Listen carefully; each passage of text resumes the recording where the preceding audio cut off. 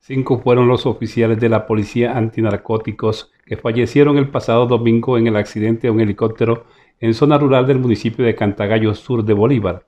El director general de la Policía, Mayor General Jorge Luis Vargas, se ha manifestado en el lugar de la tragedia en los siguientes términos. De nuestro helicóptero que se encontraba en labores de interdicción contra laboratorios de producción de cocaína en el Magdalena Medio comandante de los junglas de Santa Marta, toda la tripulación de nuestro helicóptero UH-2, mayor, un teniente, un intendente y un patrullero. Desde temprano salieron precisamente a trabajar, como lo hacemos los policías de Colombia, contra el delito, contra el narcotráfico específicamente.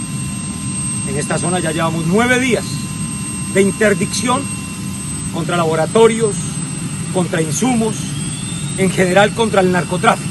Las víctimas fueron identificadas como el mayor Edinson Garay Valencia, de 39 años de edad, el mayor Maximiliano Azuero García, de 36 años, el teniente Luis Enrique Fernández Rincón, de 28 años de edad, y el intendente Jason Andrés Franco Osorio, de 32 años de edad, al igual que el patrullero Edwin Giovanni Arco Solarte, de 30 años. Sentido saludo de condolencia a sus familias, a todos mis compañeros los policías junglas de Santa Marta, a todo el Servicio Aéreo de la Policía Nacional.